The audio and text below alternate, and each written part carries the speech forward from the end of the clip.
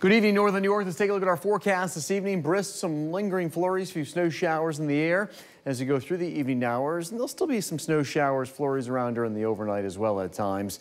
Nothing more than a coating to an inch uh, of accumulation, especially up toward the Tug Hill and the Adirondacks. Little to nothing for most of us. Uh, 20s to around 30 for a low. Winds kind of easing some during the night, but still a bit brisk. For tomorrow, it is brisk but milder. Temperatures rise up into the low 40s or so um, maybe upper 30s to around 40 in the mountains with a few showers of rain and snow trying to develop later in the day. Much of the day is going to be dry. Seven day forecast. a lot of clouds here on Wednesday. Um, there might be a snow shower flurry in the morning. It is a brisk, colder day, low in mid 30s, so more seasonable. Thursday, Friday, some sunshine returns. Temperatures warm back into the 40s by the end of the week.